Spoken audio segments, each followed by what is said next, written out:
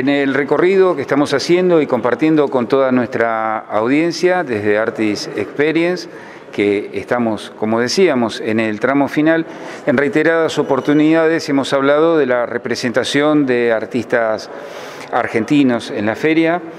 Eh, Julio Vejero, a pesar de que está desarrollando toda su trayectoria aquí en España, Alfredo Planck, y Roberto Duarte. Estamos en el stand de Café Convertes, donde se está exhibiendo la obra de este plástico argentino. Mi padre, le quiero agradecer a Gema la posibilidad de poder exhibir eh, su obra en Madrid. Es la primera vez que Duarte pisa territorio español. Y nosotros.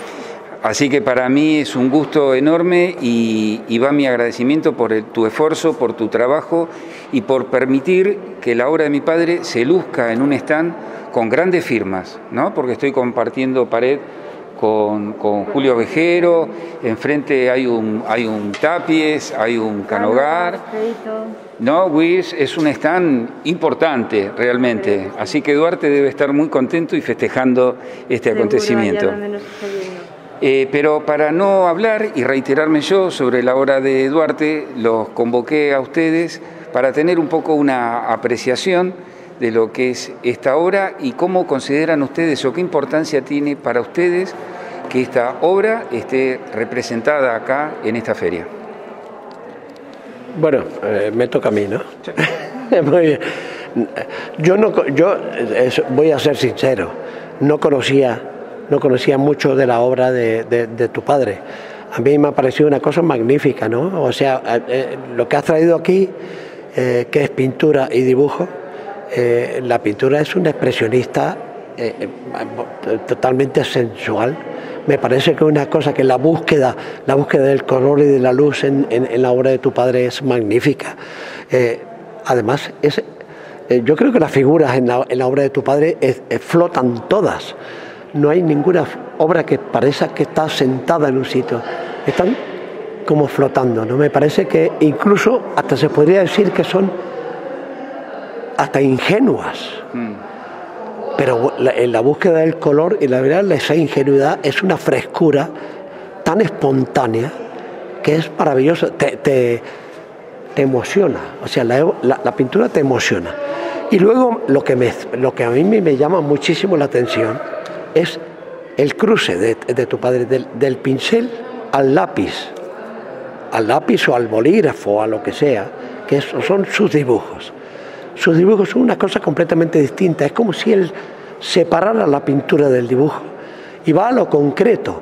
Allí, ya me lo has dicho tú, no es que me lo inventé yo, y lo ha dicho también este hombre que es... Teófilo Buendía. Teófilo Buendía, que tu padre toda esa sensación de, querer ser escultor y no poder serlo, seguir, dibuja esculturas, pero dibuja esculturas donde les da una personalidad. Y luego lo de los antifaces, porque los tres dibujos tienen una cosa muy particular, que es descubrirte, decir quién eres. O sea, siempre tenemos alguna parte nuestra de nuestra personalidad escondida. ¿no? Sí, ahora que vos decís esto, digo, eh, este evento de arte nos reúne a todos con estos tapabocas, estos barbijos, y en contrapartida Duarte ponía antifaces, ¿no? De alguna manera todos tenemos un velo para quitarnos y descubrirnos. efectivamente, por eso nosotros ahora tenemos este, este maldito velo que nos ha tocado. Pero en el caso de tu padre es decir, bueno, la mascarita, o sea, el antifaz es esconder una personalidad que dice, bueno, ya está, se acabó yo soy este. Y es quitarme el antifaz, mostrar quién soy. Pero son dos cosas a la vez. Es una escultura, o parece una escultura, pero con una, con una imagen de, humanidad. Y encima descubriéndose, yo soy esto. Es, fantástico, o sea, es, muy mágico lo de los dibujos. Y luego lo de la pintura es un expresionismo tan luminoso y tan flotante y tan ingenuo que emociona. Sí, bueno, yo nuevamente no le quiero agradecer a Gema el buen tino que ha tenido en, la lectura de cómo mostrarlo a Duarte, eh, bueno, dentro de las posibilidades de la obra que tuve para mandar. ¿No? nos estuvimos muy ajustaditos, pero yo creo que la obra fue muy atinada, efectivamente, ¿no? Tenemos cuatro eh, óleos maravillosos, además no sé si una cosa que no se ha resaltado es que en todos hay figuras de mujer, algo que se ve claramente que era una debilidad de Duarte y además lo muestra de una manera tanto maternal como con toda la sensualidad. Y estoy de acuerdo con, contigo en el dibujo, las técnicas mixtas, estas que tenemos, que nos falta una obra, que es una composición de cuatro, que, tiene, es como que nos muestra el ser interior, ¿no? Yo tengo esa sensación de que transmite, la obra de Duarte te hace vibrar, te emociona efectivamente, tanto por sus colores como por su, por su composición y... Bueno, yo lo, que quería agregar es que eh, esto que muestra dos etapas y dos maneras distintas de Duarte de producir su obra, Duarte era un artista de una búsqueda incesante como para tenerlo claramente ilustrado en quien nos está escuchando, él marcó el inicio de su pintura estudiando acá en Europa con Basarelli, con un arte cinético. Gema está enamorada de un cuadro fuga. que no tenía mucho que ver con lo que él hacía. Claro, sin embargo... El concepto del color sí a lo mejor. Claro, totalmente. Él estudiando acá con Basarelli, lo descubre a Vermeer, y deja, deja lo cinético para ir en busca del color que fue su obsesión toda la vida. Sin embargo, estos elementos cinéticos jamás los abandonó, porque los siguió, o sea, fue como que incorporó, nunca abandonó, fue incorporando. Entonces, bueno, la posibilidad, gracias a Café Convertes, de traer y representar la obra de Duarte a través de óleos, a través de dibujos o técnica mixta y obra gráfica, grabados, que están en tijeras, como dicen ustedes acá. La obra grabada, pero la he visto ahora y me parece magnífica también. O sea, eh, eh, era un hombre que manejaba las facetas, todas las facetas. Eh, si uno se queda con el óleo solamente, no se da cuenta lo que hace, lo que hacía con el dibujo. Y si se queda con el dibujo con el óleo, no se da cuenta lo que hacía con el grabado. O sea que era completísimo, era completísimo. Y era de una época, de una escuela eh, donde sus compañeros, porque me imagino que Carlos Alonso, eh, Carlos Leparc, eh, incluso Enrique Sovich, aunque no hayan tenido contacto. Y, Pairó fue maestro. y bueno, y Julio Pairó, que además da la coincidencia de que Julio Pairó fue compañero mío en Madrid, en el grupo Encuentro. Yo estuve con Julio Pairó y con Carlos Alonso en el grupo Encuentro. Y ahora al encontrarme contigo, mira, fíjate la coincidencia que amigos de tu padre o gente muy querida por tu padre también estuvieron trabajando conmigo y yo estuve trabajando con ellos aquí en Madrid. O sea que es una cosa magnífica, ¿no? Y la escuela de él, pues claro, está clarísima.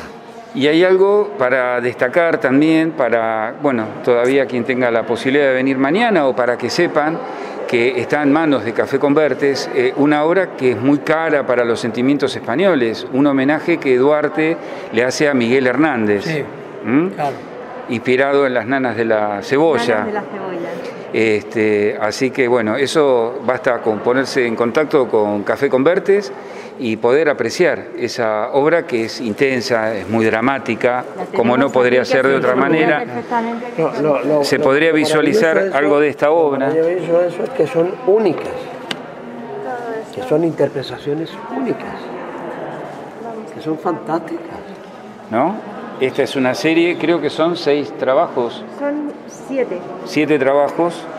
Fantástico de todo el proceso del encarcelamiento de Miguel Hernández. Son maravillosos. La pena es que realmente así no se pueden apreciar. No, pero vamos a ver, este eh, eh, la gente puede interpretar esa oscuridad clara. Totalmente. Una oscuridad con claridad. Es una oscuridad porque, porque estamos trabajando con grises y negros y blancos, pero sin embargo tiene una claridad enorme. Bueno, y acá expresa todo el dramatismo vivido, ¿no? No solo por, por este gran poeta español, sino por toda la sociedad española. De alguna manera, claro. sí, pero sin ser español ha hecho una interpretación extraordinaria, con un sentimiento excepcional. Lo podemos poner así, me Fíjate esas figuras, esas figuras son impresionantes. Son impresionantes. Es una obra muy dura, muy dura porque refleja perfectamente el dolor, la impotencia de, del... dura, pero al final es, son duras, pero luminosas, muy luminosas, con una sensación de esperanza tremenda, a pesar del dramatismo que llevan. pero es que, es que eso lo hace, solamente lo hace un artista con una sensibilidad excepcional. Son excepcionales, son excepcionales.